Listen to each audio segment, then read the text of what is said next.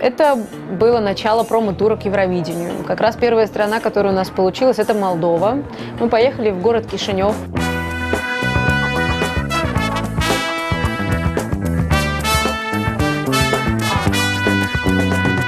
что, мы приехали к послу Российской Федерации, господину Мухаммедшину. Сейчас мы с ним встретимся, и я думаю, сможем немного пообщаться. Раньше никогда в жизни не заходила в такие большие красивые здания. Впервые в жизни была в посольстве.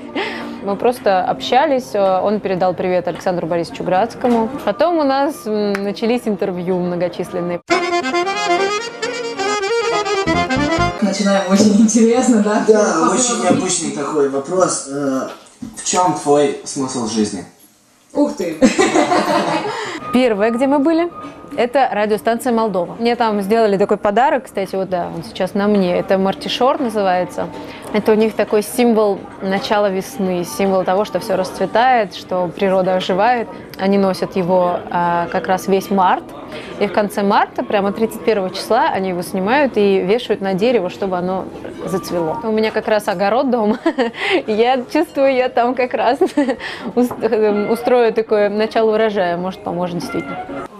Э, большого европейского промо-тура э, в нашу маленькую, но очень гостеприимную страну приехала готовящаяся представить Россию на Евровидении 2013 Дина Гарипова. Так и хочется поаплодировать. Дин, добрый вечер. Здравствуйте. И прямо сейчас у всех радиослушателей есть возможность сюда узнать о Дине Гариповой еще больше и задать вопрос. Еще на одной радиостанции мне как раз сделали тоже еще один очень интересный подарок. Это Ульф, шведский мальчик. Потому что едешь в Швецию, он такой вот, он белобрысый, да, блондин.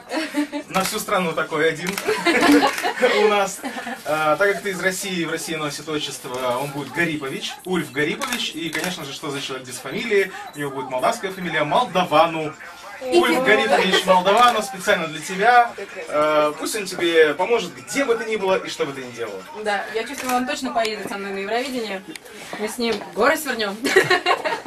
Спасибо огромное, так. Ура! Я привезла домой. Но, скорее всего, поедет он со мной на Евровидение теперь.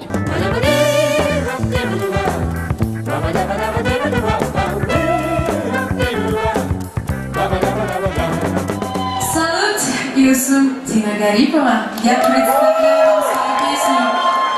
называется «Вот их». Я надеюсь, она вам понравится. Я еще не успела, конечно, увидеть, э, когда была вот э, еще в Молдове, кто поедет в этом году на Евровидение от их страны, но э, я познакомилась с прошлогодним участником, также мы зна- познакомились с главой делегации, и вообще мне понравилось то, что зрители, которые находились в зале во время самого концерта, то некоторые из них начали пропевать текст моей песни, что меня очень удивило и очень порадовало. Значит, они все-таки слышали.